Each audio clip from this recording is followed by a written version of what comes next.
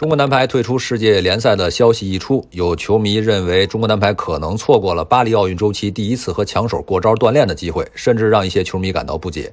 官方给出的退出原因，第一是由于疫情的因素，第二考虑到今年国内还有全运会赛事的安排。其实这一决定的背后，还有一种可能，就是中国男排考虑到今年八月的亚锦赛比赛，因为今年的亚锦赛成绩直接关系到明年世锦赛的参赛资格。根据国际排联的现行规定，中国男排要想获得世锦赛的参赛资格，一是通过亚锦赛前两名直接晋级；